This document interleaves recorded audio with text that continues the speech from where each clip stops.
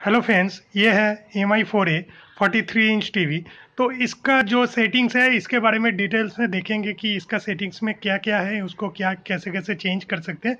तो ये सेटिंग्स में जाने के लिए आप रिमोट का जो अप डाउन एंड साइड की है, उसको आप चेंज करके आप सेटिंग्स में जा सकते हो। नहीं तो ऐसे आप जो आप की है, उसको दो तीन बार प्रेस करोगे तो सेटिंग्स आ जाएगा। तो किसी भी तरह से आप सेटिंग्स में चले जाइए।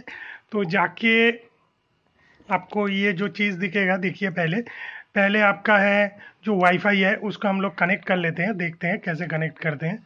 तो ये वाईफाई है तो आप मोबाइल का हॉटस्पॉट ऑन कर लीजिए तो करने के बाद आप सिलेक्ट कीजिए जिसको आपको कनेक्ट करना है।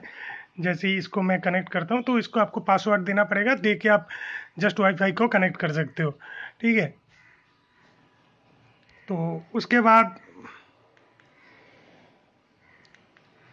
ये तो चला गया वाईफाई वाला पार्ट, फिर जे सेटिंग्स में आते हैं। तो जे सेटिंग्स में क्या क्या है, देख लेते हैं।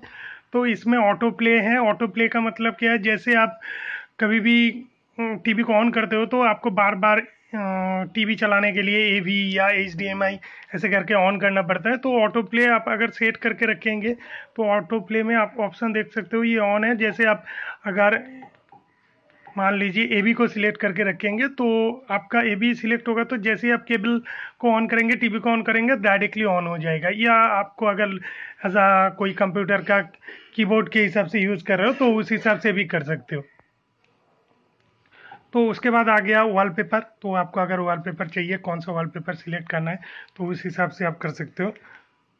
तो नेक्स्ट सिस्टम में क्या है? सेट टॉप बॉक्स का जो सेटिंग्स है, उसको आप कर सकते हो। ठीक है? तो कौन सा आपका केबल है? तो उस हिसाब से आप ये कर सकते हो। फिर लैंग्वेज आप लैंग्वेज को भी सिलेक्ट कर सकते हो। बहुत सारा लैंग्वेज है।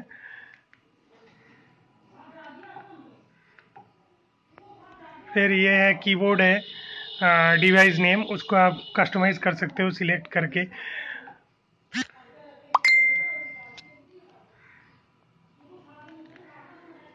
तो उसके बाद सिस्टम अपडेट तो आपको इसको क्लिक करके जैसे एम का जो आप देख सकते हो 1.0.2 स्टेबल है। इसको आप सिलेक्ट करके जो कोई अगर टीवी का अपडेट मिलेगा तो उसका अपडेट भी कर सकते हो। ठीक है, आप ऑटो अपडेट को भी ऑफ़ करके रखा है, आप इसको ऑन कर सकते हो।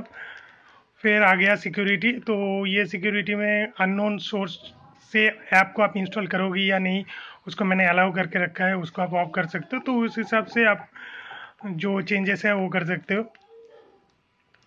फिर अबाउट टीवी आ गया। तो अबाउट टीवी में जैसे नेटवर्क इन्फॉर्मेशन ये मॉडल ऐसे करके ऑप्शन है।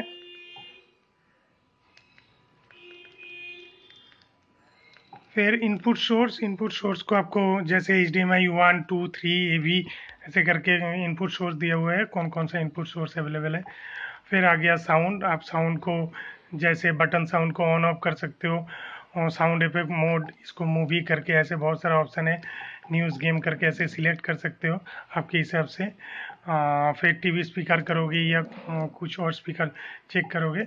उसके बाद आ गया डिस्प्ले तो डिस्प्ले में जैसे ये एडप्टिव बैकलाइट आप देख सकते हो, ये अकॉर्डिंग टू द पिक्चर ये एडजस्ट होगा इसका स्क्रीन और फिर आ गया आपका बैकलाइट फिर डिस्प्ले पैरामीटर इसमें आके आप इसको चेंज कर सकते हो ब्राइटनेस कॉन्स्ट कॉन्ट्रास्ट करके जो भी कुछ है, इसको आप कम ज़्यादा कर सकते हो, आपके हिसाब से कलर को भी चेंज कर सकते हो।